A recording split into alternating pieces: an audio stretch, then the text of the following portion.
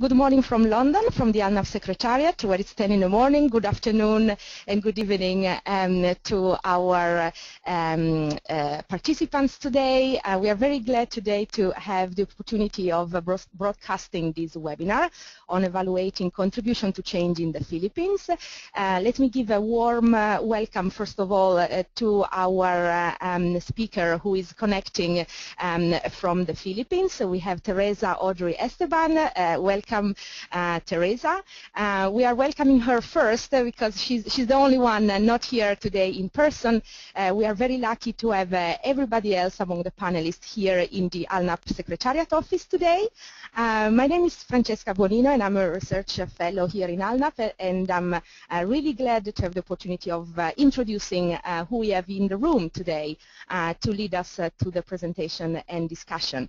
We have Vivien Walden, um, who is the Global Humanitarian Planning, Monitoring, Evaluation, Accountability and Learning Advisor for Oxfam. She's based here in Oxford and she has been uh, um, involved in co-authoring the methodology that has been used uh, for this evaluation that has been recently completed uh, in the Philippines. So welcome to Vivien. Um, we also have from the um, DEC Secretariat Frances Crowley. She's the Accountability and Learning Advisor. Uh, we are really uh, glad to have her uh, here also with Annie Davenport and Frances has been the contact person to support the evaluation um, from the um, DC Secretariat Office. So welcome to Frances. And um, we also have Juliet Parker, who is the Senior Humanitarian Performance Advisor here at Christian Aid. And she's here today to share some of her reflection on the usefulness on the report and um, uh, considering also that uh, Christian Aid team have been involved in the field work uh, that has been carried out in the, in the Philippines. Also, a few words of introduction uh, for uh, Theresa Audrey Esteban. She has been the study team leader um, who has led the field work in the Philippines, and she has a specialization in urban planning, environmental and disaster risk management, and water and sanitation. And she has led a number of exercises in, the, in Southeast Asia, in the Philippines, in Vietnam, as well as in India. Um, in terms of the webinar uh, run-up, uh, we were thinking to have uh, Vivien Walden first uh, sharing an overview on the methodology that she has um, worked together with the University of East Anglia um, and developed over the course of the past few years. And this is the first time that the methodology has been used on a large scale, sudden onset disaster, across a network of organizations. So this is particularly interesting for us to spend a little bit of time reflecting on the methodology and on the contribution that the contribution to change methodology can, um, uh, can give us. And uh, we are going to then give the floor to um, Audrey Esteban for her presentation. Um, she's going to cover the detail of the field work that she led in the Philippines. Then Juliet Parker will share some reflection on the usefulness on the report. We will then also hear a few remarks from, from Frances and then uh, move on to the Q&A question. And uh, I'm happy now to give the floor to um, Vivien. Okay, thank you very much indeed. Um, as you've already heard, uh, the contribution to change methodology was uh, developed by a team of four people, myself from Oxfam and uh, three people from the University of East Anglia. Um, and uh, just to say, it was funded by DFID. So why are we talking about contribution to change? Well, as you probably know, um, it's really difficult to measure impact in emergencies, and we have problems with comparison groups and attribution. Also, um, I don't know about your agencies, but in mine, there's a demand to demonstrate impact, but very few examples of, of impact in, um, in an emergency. Um, and then rather than getting stuck in arguments about rigorous impact, we decided to focus on developing and testing methodologies to help evidence the contribution to change. One of the problems with traditional evaluations is that the efforts of the affected population themselves are often left out. And it becomes more about proving to the donor that we've made a difference. As agencies, we may interview people, but how often do we ask them how much of the change was due to their efforts? And using this methodology that we developed, we wanted to reverse this process. Traditionally, we've done baselines and endlines and then measured the difference. Sometimes we get very poor data, Um, and often our sample sizes are not representative simply because it's quite difficult to do that in an emergency. This is quite a simplistic way of measuring change if we attempt to look at change across a large program. It may work for a single activity, such as if you're just providing water, then it's probably fairly easy to do baseline endline. But if there are more other actors, such as local authorities, local NGOs, and community groups, it becomes a lot more complex. So if there are many other agencies, and we're all trying to measure the changes that occurred, we end up with several evaluations that tell us whether changes happened, or maybe not. And actually, sometimes we may actually be just uh, claiming the same results and measuring the same things. So that it's not giving us a true picture of what really happened in the situation or in our own programs. As you can see here, it may be that our program is only one of, of, the interventions in the same area and that there will be a lot of other inputs uh, from the different actors in, for the, exactly the same community. So even if we think our program has made a huge impact on the lives of the affected population, in reality it may have only played a very small role if we take all the actors and all the activities into account as you can see here. As Oxfam, we do a lot on water provision, but actually it could be that the water has played a very small part and that things like food security nutrition um, and shelter have played a much larger part in bringing about change. And that's one of the reasons why we wanted to look at contribution rather than attribution, because we wanted to look holistically at a response and take into account everything that's happened. Our methodology has been published in a guide, and I'll tell you how to uh, get a hold of a copy uh, later. The idea behind the uh, methodology is that the evaluation would look at the actions of the affected population, as well as post-disaster interventions. Then it would look at other factors that need to be taken into account that could contribute or hinder recovery. These could be the economic situation in the country, the weather, the amount of funding, or in the case of the Philippines, that there was another typhoon that came through in exactly the same area and obviously had an effect on the recovery from the first typhoon. And all these factors are going to affect how quickly and how effectively the recovery process is.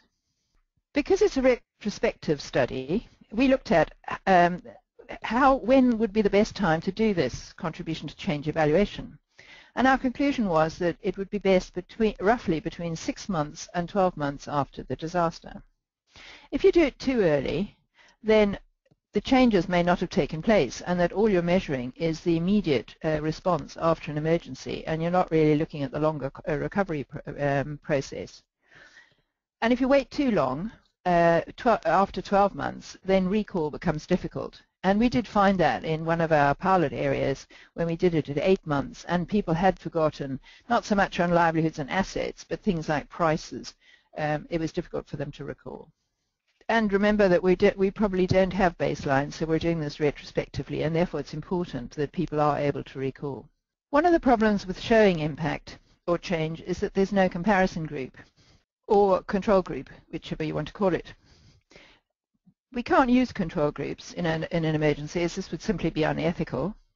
And although we could compare the situation of the, of the affected population to a similar group who were not affected, quite often in, in big disasters, there's uh, um, an effect also on the, on the population who may not be um, immediately affected, but they have been indirectly because there may be a loss of markets, um, they may have had to take in family members, um, and they may have lost their workers, for example.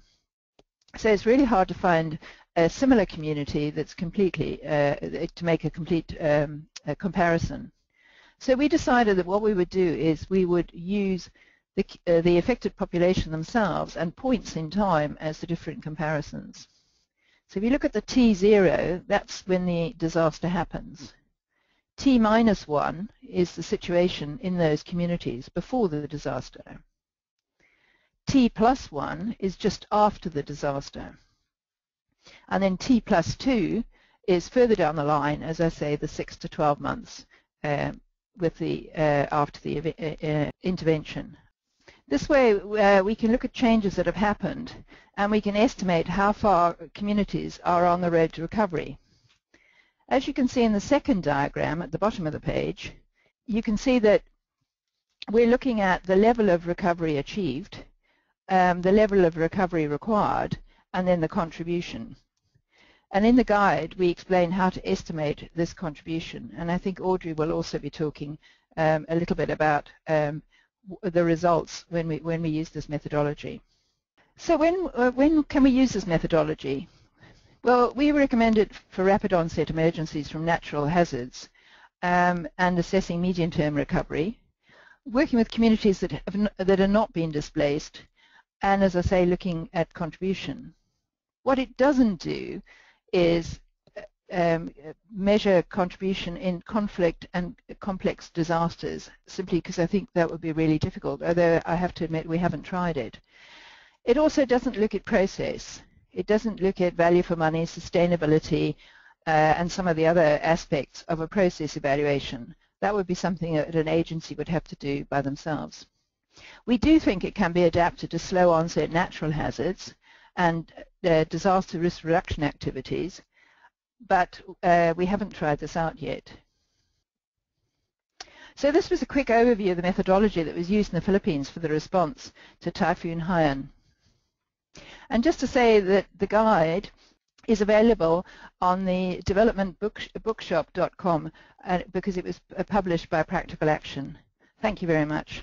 Thank you, Vivien. Uh, this was uh, very rich, very informative, and um, uh, given your experience also um, uh, during the development of the guide, as well as uh, in providing technical support uh, in this application in the Philippines, I'm really looking forward to the question and the reflection from, from other speakers. I took note of some of the points that I'm sure are going to appetize some of our participants in asking questions. for instance, um, and the issue around um, the emphasis on results as opposed to only looking at process, but also um, the attention that this methodology uh, plays on the choice of timing uh, for when to uh, commission this sort of exercise, um, but also perhaps a, a, question that will come up later um, is going to be around the complementarity of this type of exercise with other sort of single agency um, uh, evaluative activity in the context of sudden onset disaster. So um, this is really some of the uh, some of the remarks I took uh, I took note of, and now we are going to zoom in uh, in the um, uh, going to the Philippines uh, um, and listening to the experience of Audrey as she led the, the field work for this evaluation. So I'm going to give the floor to her. Thank you. Thank you very much, Francesca. And thank you, Vivien, Juliet, Frances, and to all the webinar attendees. And um, so allow me to begin my presentation with a brief run-through of the events that transpired in November 8, 2013, uh, which was the day when uh, Typhoon Haiyan, or locally known as Yolanda, made landfall in the Philippines.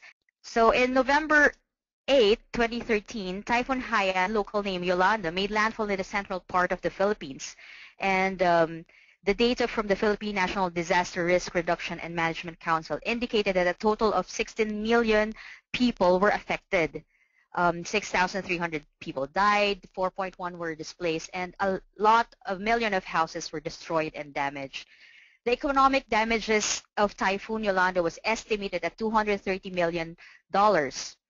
At the local community level, the disaster caused major losses to people's livelihoods agricultural lands and aquatic resources have been destroyed, which make up 80% of the livelihoods in Leyte, which is the island province highly affected by the typhoon.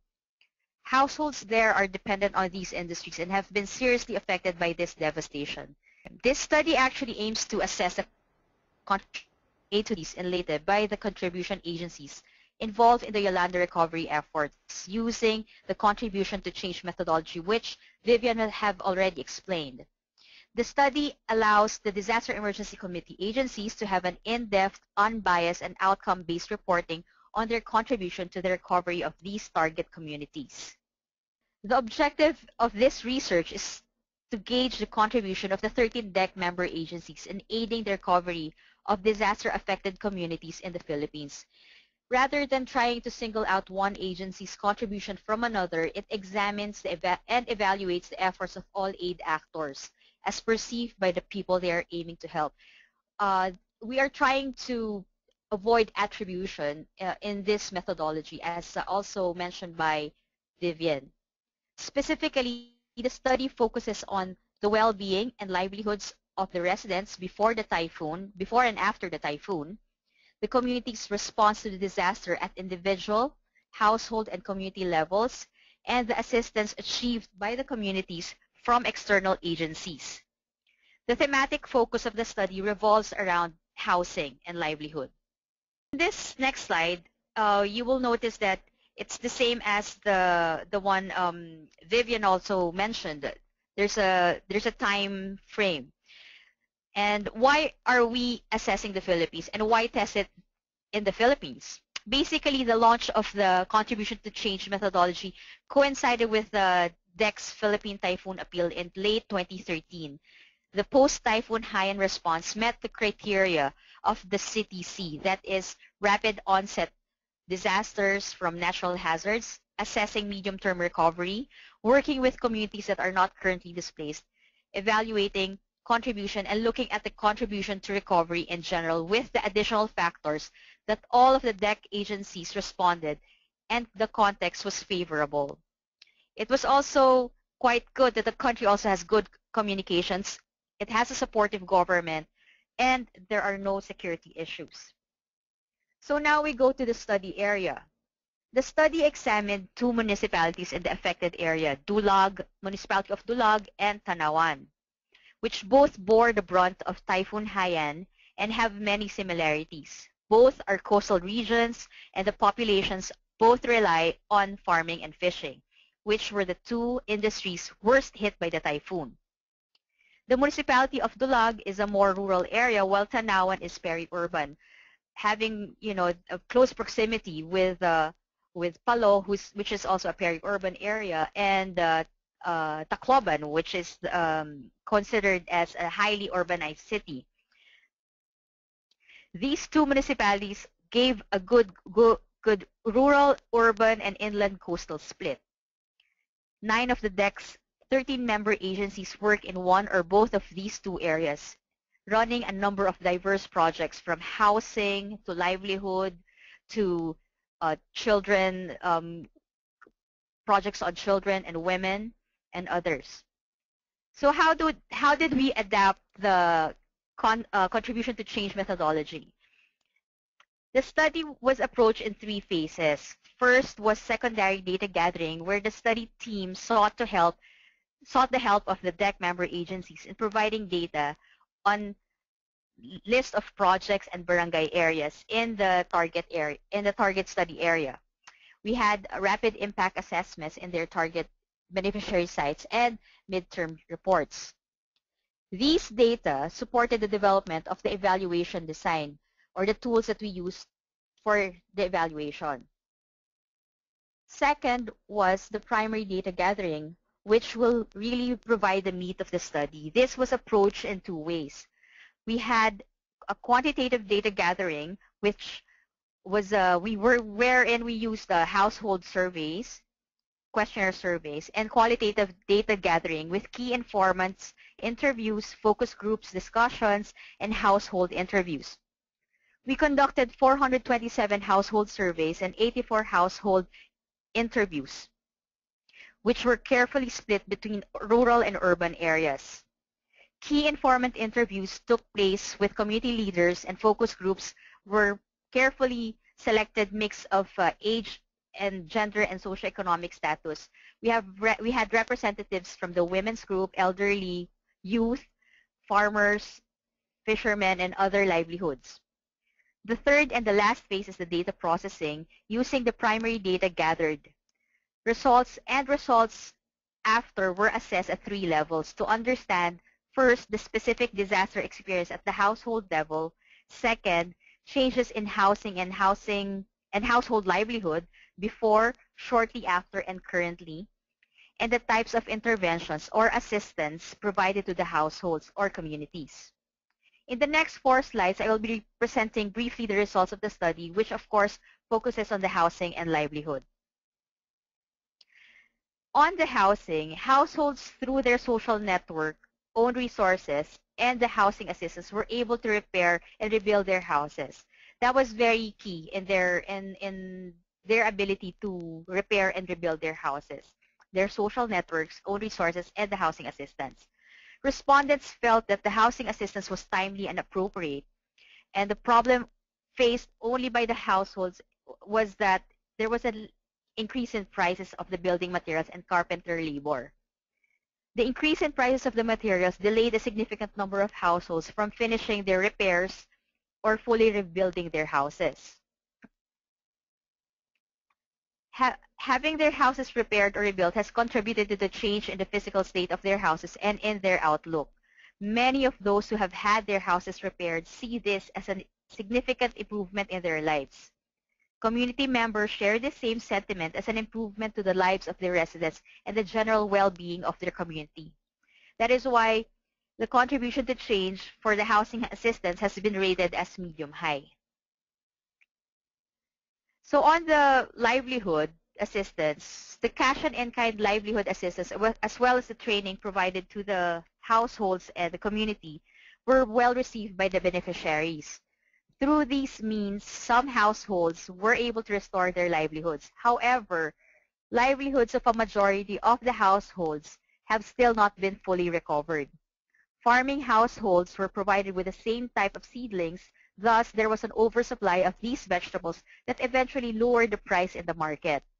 The positive side of this is that the households have a steady supply of vegetables that they can readily consume. Coconut farmers, on the other hand, will take years to restore their coconut plantation since coconuts take 5 to 10 years to fully mature and bear fruit. Among the farming community, the rice farmers are seen to have slowly gone back to their normal farming activity. Uh, sorry, I think we seem to have lost uh, Audrey. She was actually uh, just in the concluding slide of her presentation, and she had uh, um, the last slide was uh, one where she was gonna just go through um, her concluding remarks on the um, opportunities and challenges that she has um, she has seen um, when applying this methodology. And so, just to summarize some of the points she was gonna to touch on, as you see on the slide, um, so she to sum it up, the house building restoration was uh, the element among the interventions that were seen as more successful. As Audrey was saying, even changes, physical changing, changes in the outlook and physical changes in the structure of the building that have been reconstructed were perceived as uh, positively by the, the uh, target communities, whereas on the livelihood uh, on the livelihood side of the intervention, the assistance received um, uh, has uh, more of a mixed results in terms of the change perceived by the affected population. Um, so rice farmers have gone back to rice farming, although um, the the yields have been have been low. And in terms of the other elements that were looked at into the in the livelihood um, intervention, she also touched on the issue of vegetable gardening, uh, which was uh, uh quite a positive one in terms of improvement um, in the lives of the uh, lively of the household. And then she touched on the small on the small businesses that also have slowly reemerged. When it comes to the uh, cash for work intervention, um, there were mixed results in the sense that some were perceived as um, helping in the in a return to sort of normality. However, there is uh, the flip side of the coins that has uh, um, that has been detected with a certain distortion in the market prices. So these were the conclusion from Audrey. I'm sorry I had to uh, go through her slide. However, now we are able to go back to um, Juliet Parker from Christian Aid, and she's here with us today because um, she would like also to share some of her reflection on the usefulness on on a report and share some remarks. Thank you. Um, so Christian Aid was, uh, as a DC member, was part of this study. Um, we are implementing um, our Haiyan response as part of the DC um, whole response. Um, and um, we were involved in a sample, I think, of one of the particular barangays that's part of this report overall, what I want to talk about is about how uh, we've received this report within Christian Aid and the extent to which we feel we can make use of it, um, and also where it really challenges our understandings of some of our processes and established ways of um, doing things. Firstly, we absolutely understand the principle of looking at the whole rather than the individual actors. It is a very good one and it is challenging to do it and I think this exercise has been very positive in that it has tried to um, with quite some success. So we particularly appreciated the recognition within this methodology of the capacities of the other actors within humanitarian responses. So for example, all the way through the report, it recognizes the contribution and capacities of the communities themselves in their own recovery.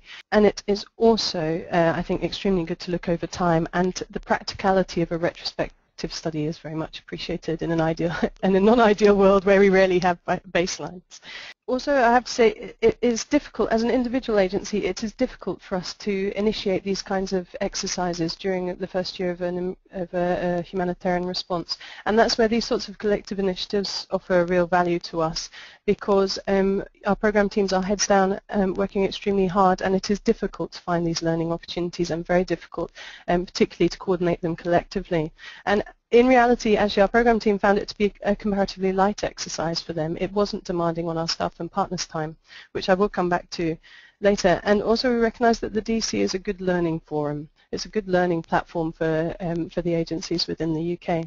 However, all those good things, but we have found some limitations in its usefulness for us, which is partly possibly to do with the methodology in the report, but I think also because it, it, it, challenges our established ways of doing things, which is never a com comfortable process. So I have a, a, number of sort of criticisms, I suppose. One is that our program team were confused by having such a small sample. Sampling only Leyte, they felt, um, limited its usefulness to us in that we cannot really extrapolate the findings from one province across the five provinces that we're working in. So it's very interesting, but actually how we can then take on board um, these findings in our other provinces, which perhaps haven't recovered so well for a different set of reasons, is quite difficult.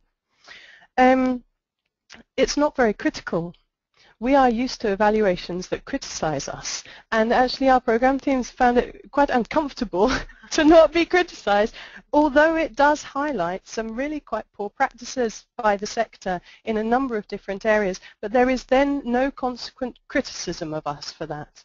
Um, and I don't know if that was an intended part of the methodology, but certainly it left us feeling exposed and vulnerable.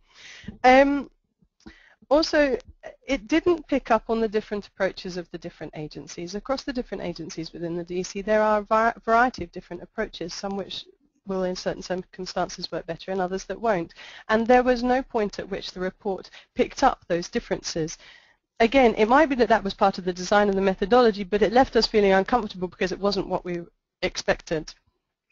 There was also a feeling that it picked up a lot of findings that we already knew actually from working within those communities, a lot of the evidence of recovery was very obvious to our program teams. A lot of the kind of differences in practices and um, effects on kind of economic household recovery were obvious.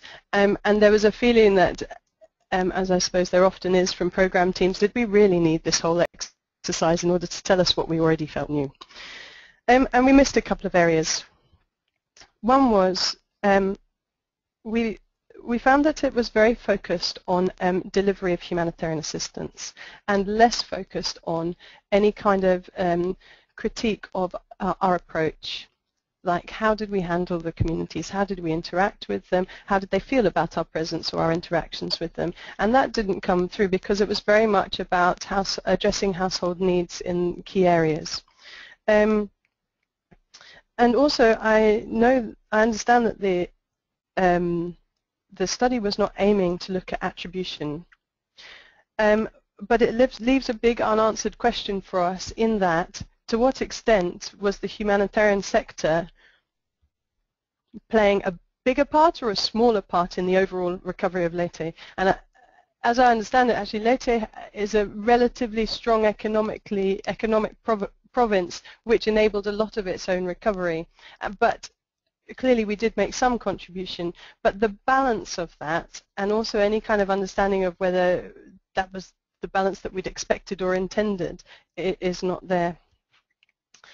Um, and also from our program staff in country, actually it didn't take much of their time, as I mentioned earlier. So it was a very light exercise for us, which um, is very much appreciated. But they missed the opportun opportunity to explain our approaches.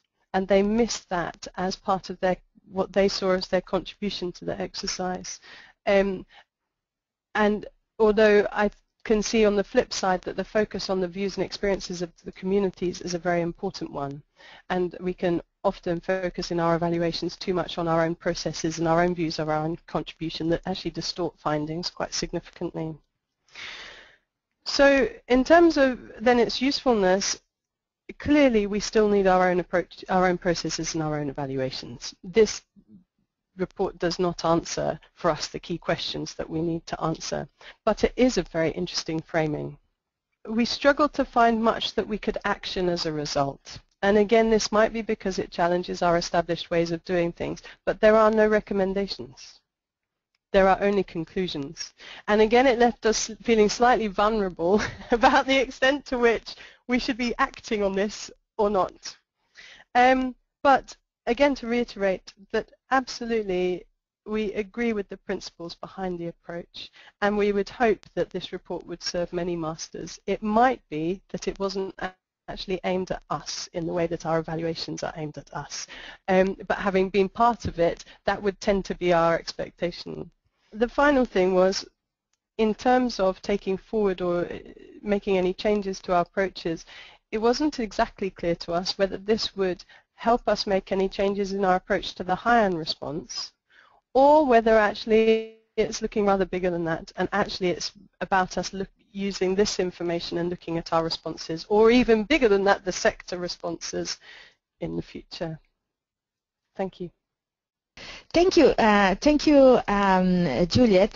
I picked up a couple of points, and I think it's uh, um, it is uh, um, very stimulating to have the opportunity of uh, of uh, discussing uh, um, the different the different experience and different views on how the methodology has been used in general, discussing the methodology in itself and the concrete application um, in the in the Philippines.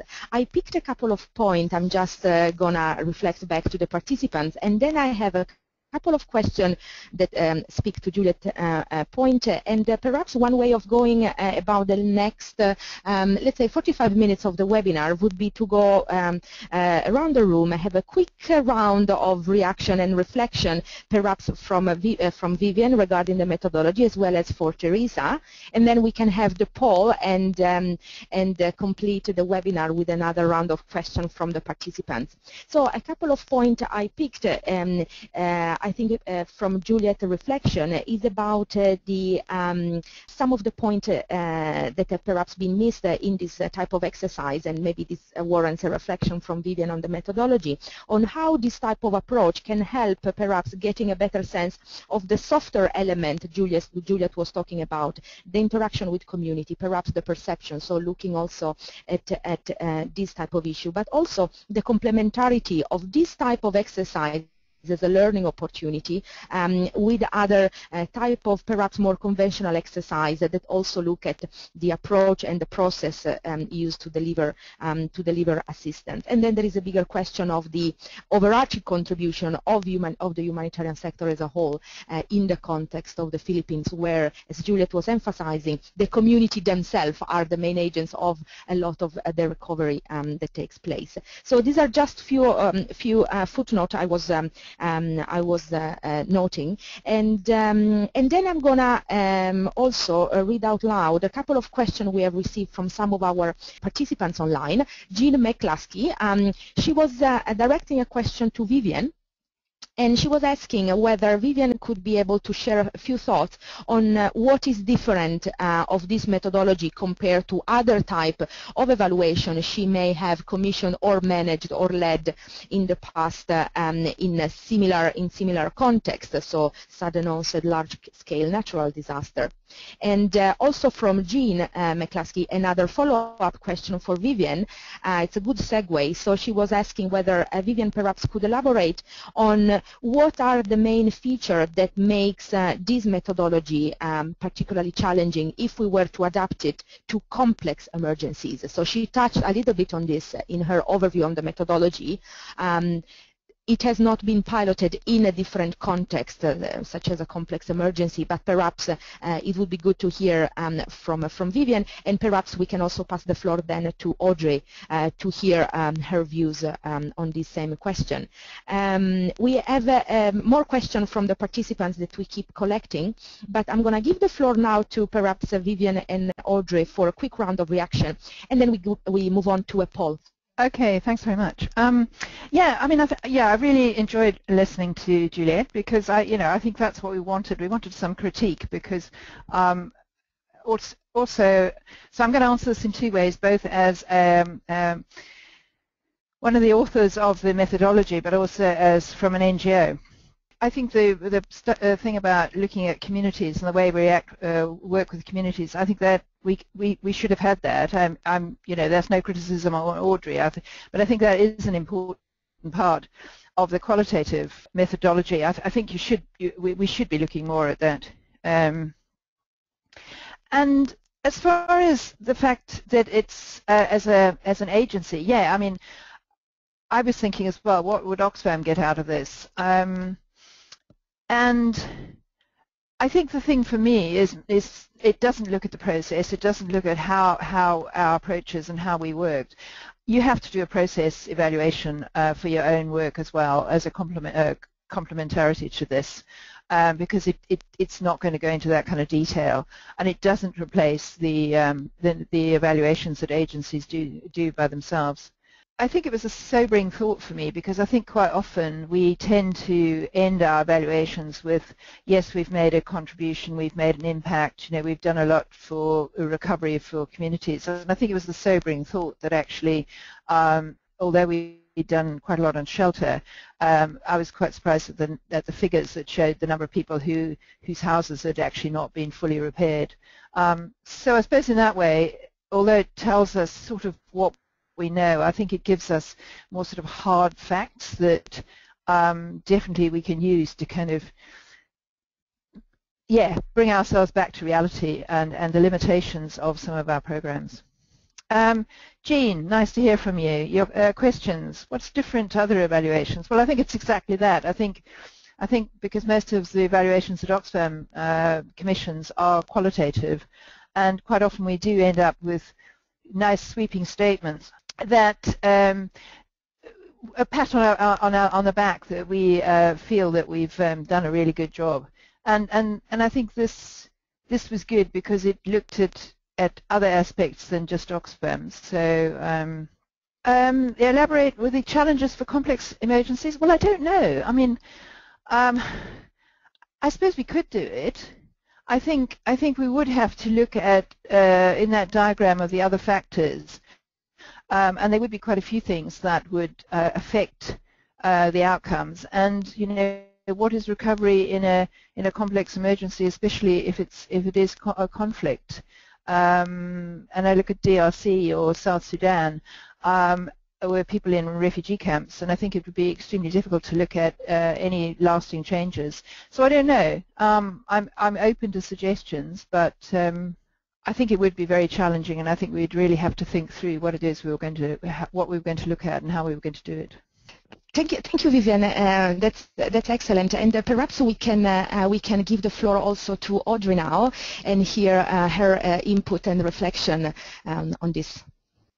Hi, hi everyone again. Um, well, listening to Juliet, I, I kind of um, understand where she's coming from in terms of how they're going to use this methodology and and um, how um, they know already what has been what is on ground. And uh, that this report just uh, placates in fact what they have already what they already know. Um, one of the things that uh, that I kind of um, stumbled on when we we started this methodology was that um, the attribution aspect. So how do you that's very tricky because um, how how do you avoid attributing the change to one agency because that's very, very uh, key in the methodology.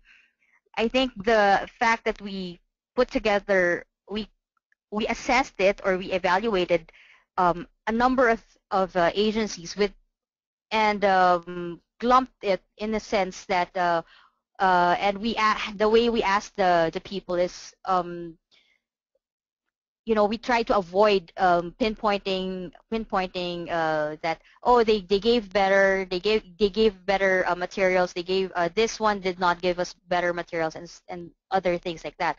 So uh, we had problems with uh, before uh, when we started, but then when we developed the design, the the evaluation tools, that's how we kind of tried to avoid um, really attributing each of the each of the uh, the dif the different um, um, assistance that was that were provided to them.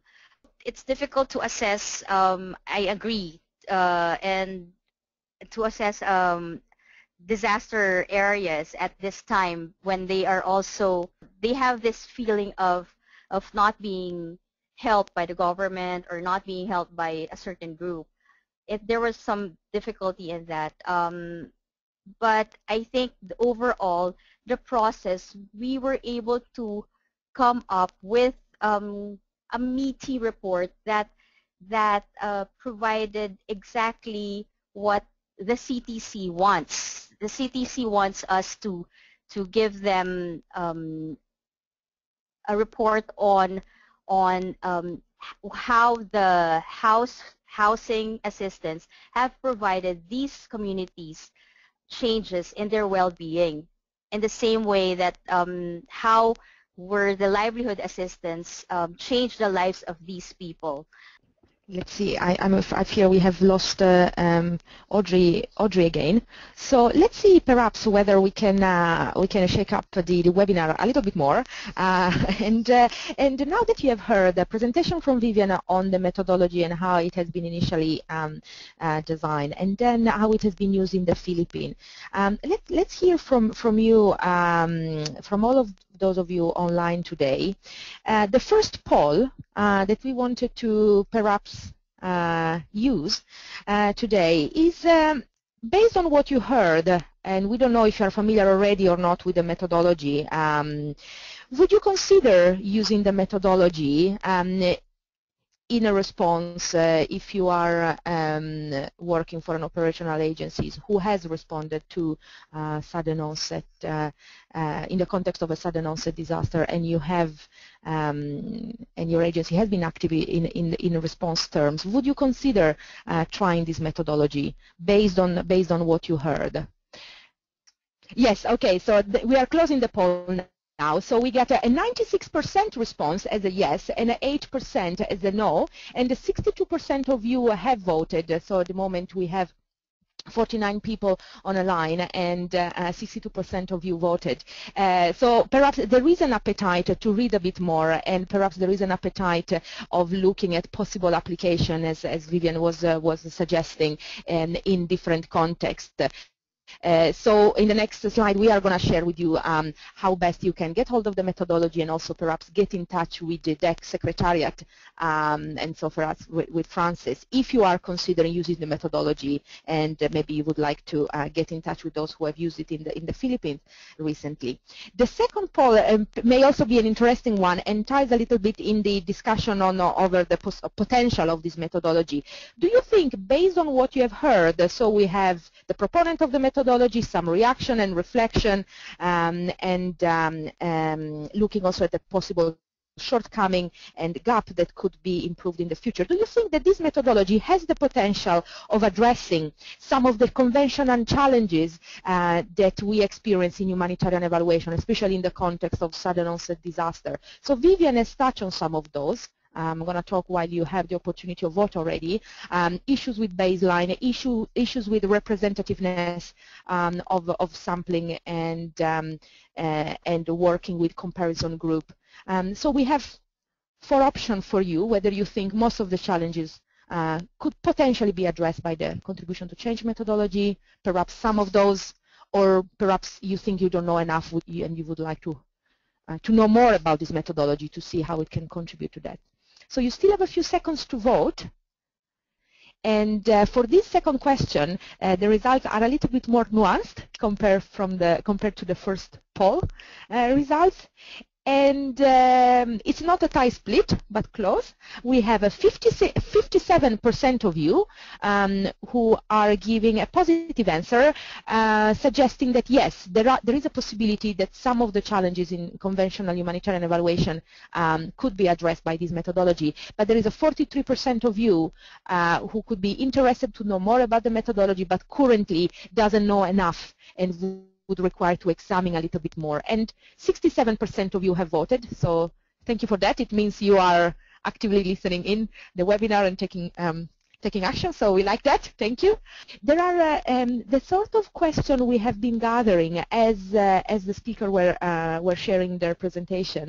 Uh, there is a split um, in the question. Some are really specific to the methodology, and some are uh, more directed uh, to Theresa because they speak to the exercise that took place in the field. We have a specific question. Um, coming from uh, um, a colleague who is also based in the Philippines, uh, working for CARE, um, and he's the MEAL manager uh, based in the Philippines. And uh, he has um, he has asked the question, uh, especially uh, directed to, to Audrey, and the question is um, whether and to which extent the contribution to change methodology make use of participatory um, data collection or a data analysis uh, tool. So uh, at which point of the methodology that was an element of participation and by whom and how was that organized. So this is one for Audrey. There is a, a, second question that we have received. Uh, this question coming from a colleague in uh, Caritas Germany is uh, um, about uh, the participation and engagement and different role of stakeholders in this methodology. Who are the main stakeholders that have triggered this exercise at headquarter level as well as in the field and how do you organ how did you organize their participation? So different stakeholders um, in a country office as well as headquarter. So this is a question uh, that could also be um, passed on to Frances because I can see that Theresa uh, Audrey still has some issue with their audio connection. Hi everyone. Um, so there are different groups of stakeholders at different stages of the evaluation that we felt that it was very important to consult with. Um, to start with, um, it was very important for the DEC Secretariat to ensure that um, all of our DEC members were in favour of piloting the methodology. So we kind of canvassed support with um, different stakeholders within the DEC members, from humanitarian directors to monitoring evaluation staff, through to staff on the ground in the Philippines.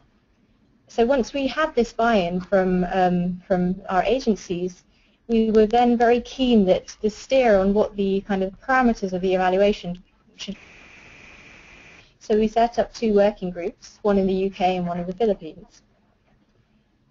In addition, um, it was really important to get data from M&E staff in the Philippines from amongst our members, so we're very grateful to have their input, providing both data and secondary information that was really essential to the evaluation team.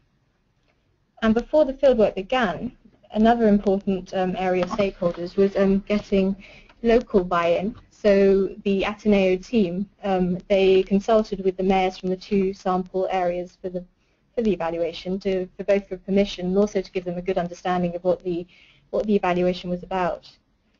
This also went down to the local leaders, to the um, area barangays, captains, who were informed about, again, the aims. Finally, and most importantly, it was to get this the idea of what the evaluation was about to the households who were interviewed and who were surveyed, um, it was essential that they understood that this was for feedback for our members and that there was not kind of, it wasn't a needs assessment and there was, you know, further um, aid connected to this. And that was another reason why we were very keen to have a recognized institution in the Philippines leading the um, evaluation because people knew the name of Ateneo and understood that this was an academic institution. Um, two other key stakeholders were, of course, the um, two of the authors of the methodology, Vivien and also Roger Few from the University of East Anglia, and they played a key role in guiding the development of the methodology and um, adapting it for the Philippines context, along with the team from um, Ateneo. Um, and then Roger played a key role in validating the report to ensure the methodology had been closely adhered to when it was finally published.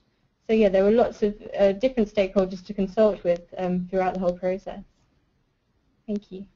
Thank you, Frances, uh, for for this overview. Also, uh, it's interesting to touch on the uh, on the specific structure that were put in place to support the evaluation. So the role of two different working groups, one in the country and one here in the UK. That is also um, uh, quite interesting.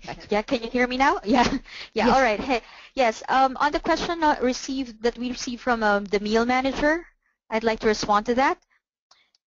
Uh, he asked about um, the CTC methodology and how it is uh, participatory. The, well, the contribution to change methodology is participatory in nature, and it involves the stakeholders and the communities. And the way we adopted the methodology, given the time frame, is we, we allowed for key informants to be involved in the in in in the um, data gathering.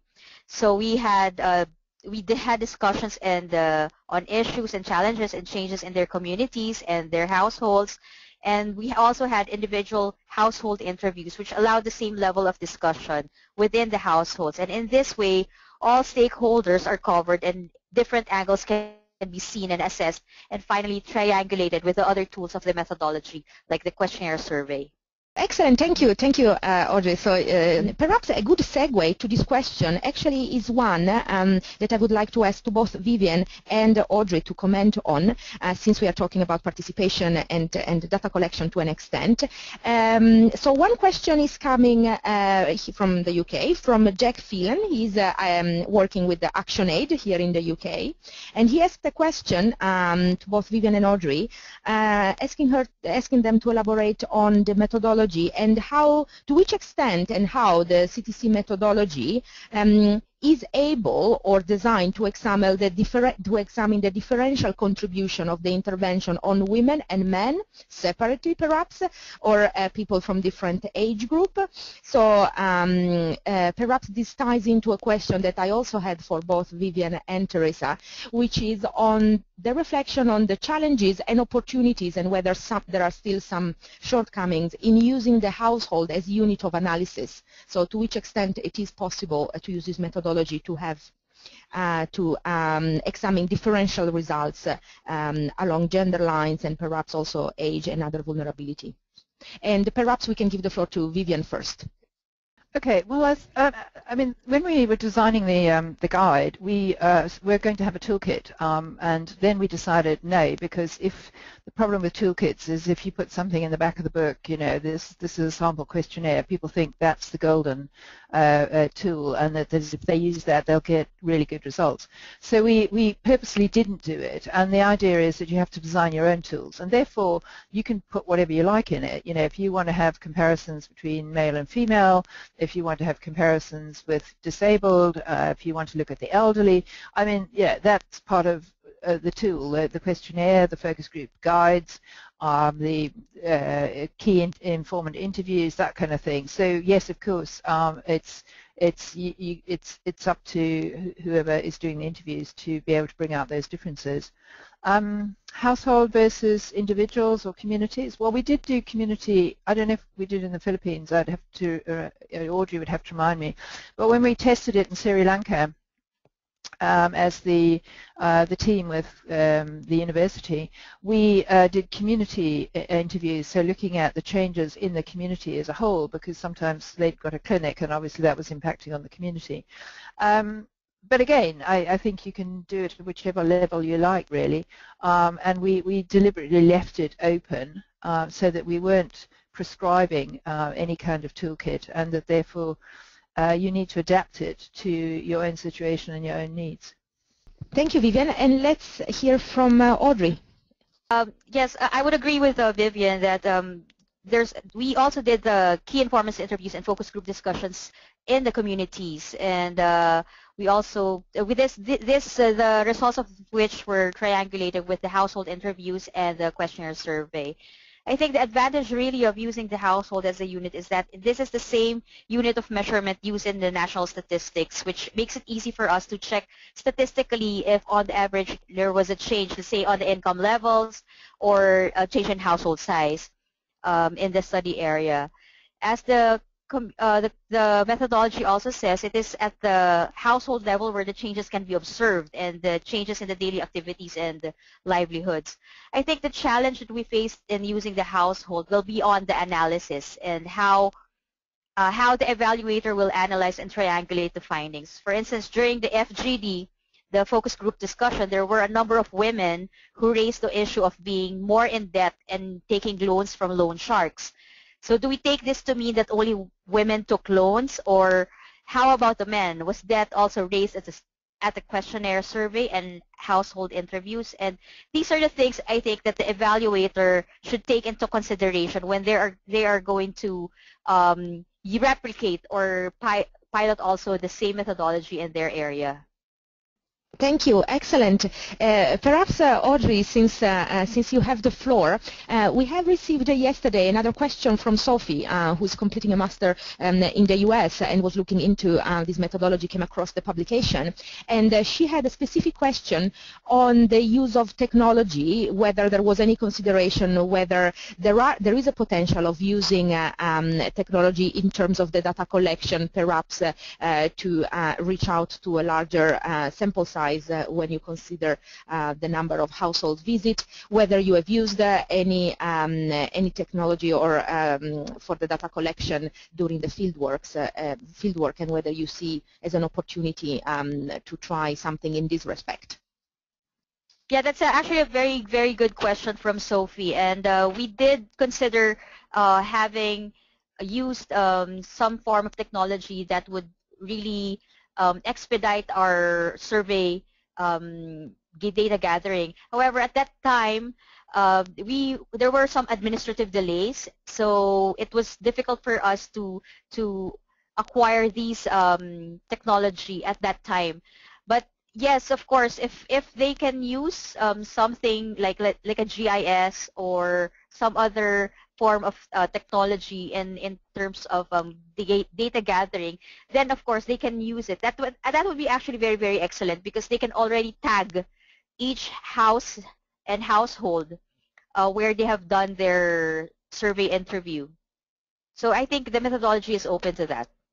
Thank you. Excellent. And um, uh, there will be perhaps opportunities uh, um, following this webinar for all of those who are online and have additional questions to ask those questions either directly um, to uh, Frances if they are thinking of commissioning this type of evaluation and uh, we are going to share uh, Frances' email address and also the link on the DEC website where you can download the, um, the, the, whole evaluation. But also you have an opportunity um, uh, since you are all members of the ALNAP um, mm, humanitarian evaluation community of practice to ask some of those questions to um, uh, to the community of practice uh, practice member because there is a lot of experience um, in the COP as well. Um, perhaps uh, uh, I would like to move now from data collection. We heard a couple of remarks around the use of household as a unit of analysis on the possibility of um, of disaggregating data. Perhaps let me move forward with uh, with one question that I have and now as we close, um, as we approach the close of the webinar, um, thinking more in terms of use and requirements, if agencies are considering piloting this methodology, what are the uh, what do you think, perhaps this is for Audrey, but could also be for Frances and, and Vivien uh, if they wish, what are the minimum requirement in terms of staffing the evaluation teams, which sort of skills mix you would advise? Um, are there any tips you feel you would like to share in terms of maybe expertise of the evaluation teams, also in terms of timing, and perhaps if there is any sort of uh, um, uh, testing time for the data collection tool, um, preparation to the field of the field work, uh, and the, the, the resources allocated. So, uh, you know, a question around the staffing, expertise, timing, um, since it's fresh in your mind, uh, the experience you had in leading this exercise, what are the sort of minimum requirements you would advise to have in place? Yeah, hi. Thank you for the question. I think on, in terms of staffing, um, it will really depend on the number of, of your sample. Um, especially if it's a it's a big sample, then you would need you would require a, a a big number of, uh, of researchers or enumerators. Um, and I think what's very, very crucial is for you to have someone who's very knowledgeable in um, interviews, especially on ground, someone who has a background on, on social community development, someone who really knows how to relate with uh, the communities, and someone who has very, very good experience in conducting focus group discussions at the community level and in relating with government, with government and government officials, um, even even if these government officials are from the from the community. Um, that's one.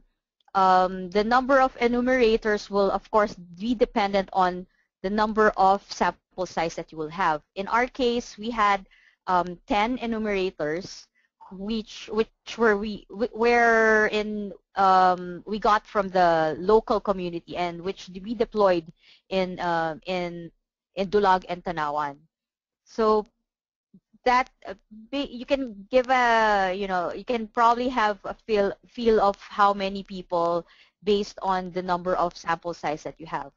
Um, maybe for me, I think a, a good sample of around uh, 10 to 10 to 20 enumerators if it's going to be really big and if you have two sites and a team of uh, of people who would be doing conducting the interviews um, around five would be good that would be less stressful, I think.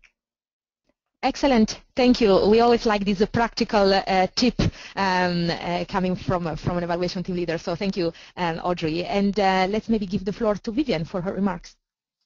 Um, I guess I just wanted to touch on whether uh, uh, an agency could do this themselves, or whether, which would obviously be cheaper, or whether we should we should hire a, um, a, a local university. Um, um our experience when we tested this in Sri Lanka, when we used the University of Batticaloa, um, we found that uh, there are two points really. One is um, that you're not raising expectations because if you're coming back 12 months later and you drive up in a nice white car and get out wearing an Oxfam t-shirt, you've immediately sent the message, we're here, um, there's a possibility that we're here to help again. So I, I think that was, that was one of the key learnings we got. And also you're independent. If you're using a, a university, they're neutral, um, and therefore I think uh, probably you get better information because uh, just the fact that uh, just even if you don't wear a t-shirt, if you if they know you're from an agency, it immediately biases because um, they feel that they should be telling you what you want to hear. So so um, it, thinking about resources and, and minimum requirements, I mean, obviously you, you need funding if you are going to hire um, a, a, local university. Excellent. Thank you, Vivien. These are also very good tips. And um, let's hear from Frances a few points to complement to this. Thank you. Just some very practical kind of lessons learned that we picked up on in our debriefing with both um, Ateneo, um, the institution, and with um, with the authors of methodology, particularly Roger. I think because this is um, there's such a, such a specific time frame for this methodology, we felt that um, uh, a really good lead-in is needed for um, planning, and um, we were perhaps a little rushed in this. And I think Ateneo suggested that six months to do the, the planning, to kind of ensure you've got the parameters for the study and have uh, developed all the survey tools, etc., is really important. Um, another thing that they recommended um, was that there's a real need to be precise about exactly what information is needed and they advised narrowing the focus to key areas that will really demonstrate change and recovery and they felt that the scope had perhaps been a bit too broad um, in, in some of the survey questions. However, on the other hand, um, the I think um, Roger was, um, who's one of the authors, uh, was keen to, to make the point that um, you don't want to narrow the, the focus too much um, to restrict the scope because um, it's and, and, in fact you just you need to adapt your tools so that for example the the survey can um, be quite wide but you sorry the survey is quite restricted but the the the interviews can kind of slightly work harder to ensure that when you're talking to households and interviewing them at that level that you're getting a really clear understanding of, um, of what happened. Ateneo suggested that perhaps carrying out spot check interviews before the survey um, and inter interview questions are developed um, can ensure that any other key areas or factors that could influence recovery are picked up on at that stage before you go on to develop the survey and questionnaire. Thanks. Excellent. I'm taking frantic notes because I think these are all very, very, um, very good tip and a sort of uh, a tip that I'm sure a lot of uh, participants could be interested in uh, taking into account and maybe even go back to uh, either Vivien or, or Frances. So I took note of the uh, lead time, preparation time, and maybe this could be one of the strong points also of this methodology to have the opportunity of reflecting on the right, on the best timing um, to be able to ask a question around recovery. So six months of planning, um, spot checking, interview um, uh, during the development of the survey tool. These all um, look very um, very valuable uh, tips.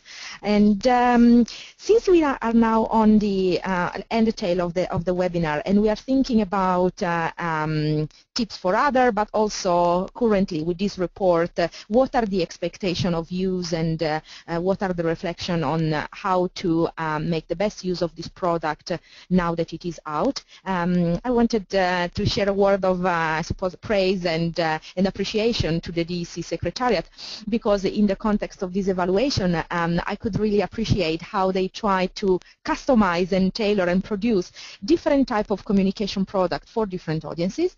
So if you go online, uh, and I'm going to now show uh, on the screen um, the, the, the, website where you are going to be able to see um, both France's email and also where you will see the full evaluation of the contribution to change Philippines, you are also going to be able to download a very useful four-pager overview on the methodology itself. It's a little teaser, um, so you're going to have the sort of the highlight from this methodology, um, and then you can decide to, uh, to go and consult the whole uh, publication that, that Vivien has, has mentioned. You are also going to be able to see um, a very useful three-pager um, evaluation brief that was also prepared by colleagues in the DEC Secretariat and so these are different communication products for different audiences and uh, in your organization um, um, you may want to present the full menu of options if people are interested in this and do not want to plunge directly into um, the, the, the, the, full evalu evaluation report. So this is just a quick note on, uh, on, the, on the usefulness of customizing sort of different products uh, and different shorter, um, shorter um, communication tool for different um, specialist and non-specialist audiences.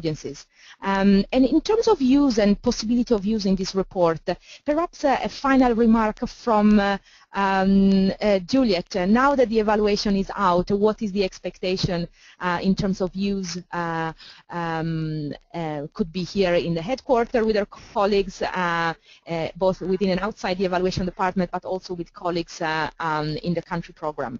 And maybe we could also have then a final remark from Frances on how it it will be used by the DEC Secretariat. Thank you. So I suppose um, from my perspective as one of the member agencies, I, am still a little confused. I think that uh, Vivien mentioned, you know, this this report is full of hard facts, which is extremely um, interesting, definitely, and and gives us a kind of overview and a framework um, within which we can then kind of recognize uh, where our kind of priorities might match up and align or not, or those sorts of things. But I'm still not exactly clear in this instance, in this kind of piloting of the methodology, exactly where the findings are, are kind of aimed, whether it's at agency, individual agencies or at the sector, or, um, or actually as a kind of contribution to the sector over time. Um, I think that, I mean, certainly within Christian Aid, I think I would be very interested to pilot the methodology again and to and to use this experience. Um, so I think the, the intentions of the methodology are very strong, and the practicalities of, of then implementing that um, requires some practice, I'm sure, in order to uh, further refine the product that you end up with. Um, but and and I would also be interested to see the extent to which we could extend the methodology to look more at the perceptions of uh, from beneficiaries on the, the quality of interactions between the different stakeholders. I think we would be particularly interested to see if we could then factor that in and, um, and expand um, the scope of what we were looking at. Thanks, Juliet. That's really interesting. That's the first of the, the feedback that we're getting, and I think that's really what we're after. This was a pilot, and we're really keen to hear more of the views of our agencies, but also from the wider audience as well as to how useful this can be and the different ways that it could perhaps be adapted um, before the DEC consider using it again. You know, it remains a question mark over whether we would, um, but I think it's been a really useful process for us, and I'd just like to say thank you to all of those who've been involved in this and for, um, you know, to ALNAP as well for giving us this opportunity today to kind of launch the feedback process. Thank you. Thank you. Um, thank you, Frances. These are uh, really a good remark to conclude on a positive note uh, on this. And uh, um, who knows, perhaps uh, we will be here in uh, another, I don't know, six, eight months' time. If there are other agencies who are piloting or give it a go at this uh, methodology, um, maybe we could have a series of webinars where we can share the experience or emerging learning from other agencies who are using this. And, and in fact, just as we were talking, we have a colleague from British Red Cross uh, Laura actually, who was just uh, uh, sharing, asking a question whether this methodology, you know, could be applied also looking at longer time frame, maybe in the post-disaster. So this speaks very much to the point that Vivien was mentioning before, that this is a there's been a lot of piloting where when the methodology was developed, but also this is the first time it is a fully fledged process that went into commissioning and managing this in a large-scale disaster across a network of agencies. So definitely the potential is there. I can see Vivien and nodding as well. So it's encouraging to see um, different agencies who are um, who are intrigued by this, to say the least. And uh, let's conclude on on on, uh, on this webinar now. And um, let me remind you that you can download the full set of, of products, the evaluation and the accompanying um, evaluation brief on the DEC website as well as the, on the ALNAP one. Get in touch with Frances um, if you are interested to hear more, and uh, get in touch with us uh, if you like to also suggest a topic for a webinar webinar um, where we could showcase some of your um, evaluation like we have done today. Thank you for joining and um, we look forward to hear you again in the community of practice on the virtual conversation room.